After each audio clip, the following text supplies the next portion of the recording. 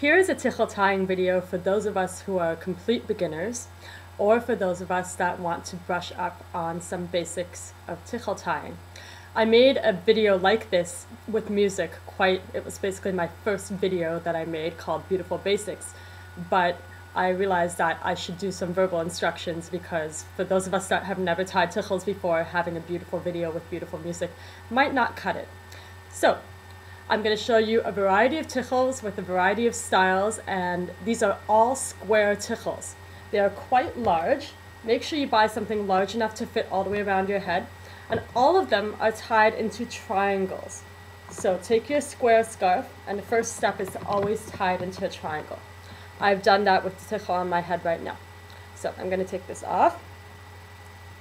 I'm wearing underneath a velvet headband, which keeps things from slipping, and I'm also wearing a cap and or volumizer. I usually don't wear a cap um, normally because I don't need to, but since I'm making a video, I want to keep my hair covered. For those of us who want to have more hair or more volume, you can also buy a volumizer, which is basically like a cap, but has a big kind of pillow thing in the back.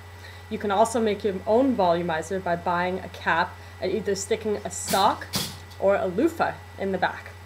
So here's my first tichel. It is a satiny, but it's not made of satin material. I folded it in, into a triangle, place it so it comes nicely in, in your forehead. And the first tie I'm going to show you is just a basic tie. You take the middle end of the triangle back here, fold it over your head to make it easier, and take the two ends and tie a knot right back here, see?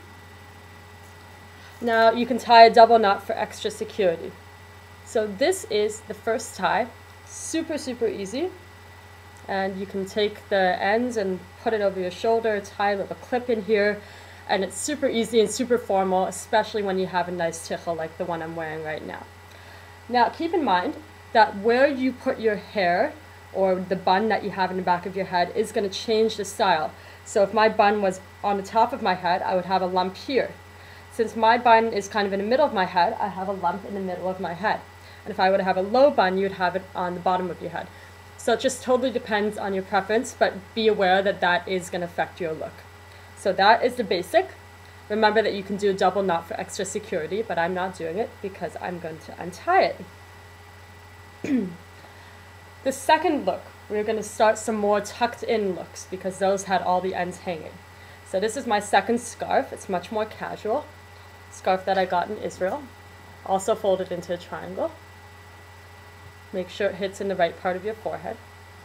So this look, what you do is you take the two ends and instead of tying them underneath, like in the first look, you tie them over the middle end. So you take it, like you can see, and tie it like that. Now what you do is you take the middle end and pull it down, like so, to give it some extra tightness. Take these two ends and tie it again. This is a scarf style that's commonly worn in Israel. So now you have a nice look that's a little more tucked in than the first one. The second variation of this is taking these ends and tying them underneath, like in the first style. So tie them underneath. Tie it once, loosely. Now tie it once loosely. Now what you do is you take the middle end and you're going to stick it underneath. You're going to tuck it in, like so. Take the middle end, tuck it in, nice and secure.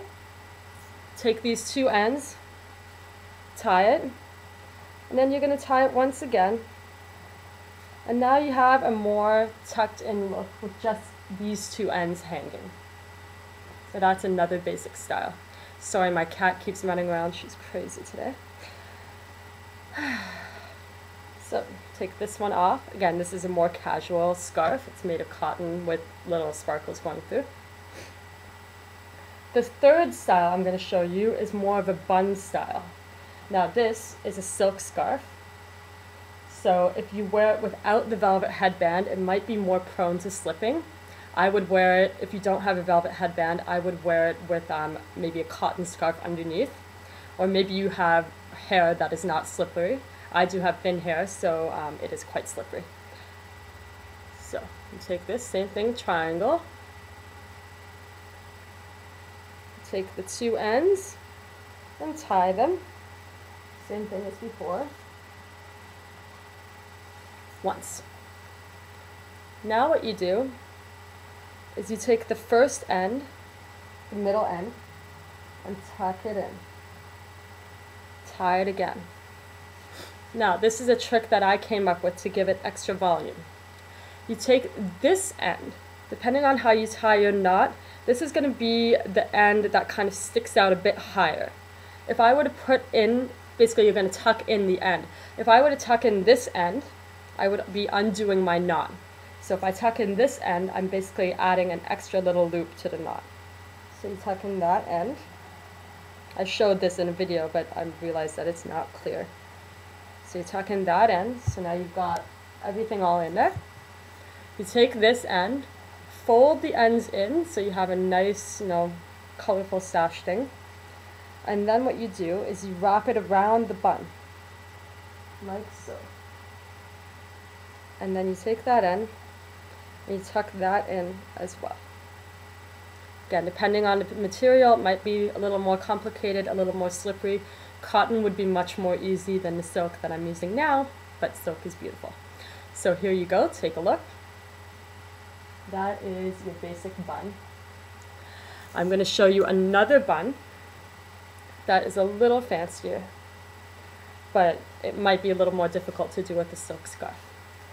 So, have a very sparkly tichel right here, fold it into a triangle as well. You do the same thing as in the beginning. Tie the two outer ends around. Remember, tie, do the first tie quite loosely because you're going to be tucking in this middle end. So take this middle end, tuck that in, and tie this a little tighter. So then you're going to take the first end and twist it. Now, you're going to do the same to the other end. What I do in order to hold this end is either I stick it underneath my armpit or in my mouth, um, just to keep it secure. So I'm going to stick it underneath my armpit now. Do the same thing to the other end. Twist, twist, twist. Okay. And now you have two ends that are twisted. What you're going to do is you're going to bring it around the top of the bun and make a knot. See? Now what you're going to do with these ends is you're going to twist them in. So you create kind of a little twist around your bun. Keep twisting until you're at the end of your rope. And then when you're at the end, either tuck that in end into the whole bun if your scarf is long, or this scarf is not that long. So I just tuck it underneath like so. Let's see, does that look okay? Okay, there you have it, another bun style. So these are the looks that you should master first before you go on to anything more advanced. They are so versatile. Um, you just use one scarf, but if you add a headband or a clip or anything like that, they can go miles and they can be very, very fancy. So hope you enjoy, and these are the basic ties that you should learn first. Bye-bye.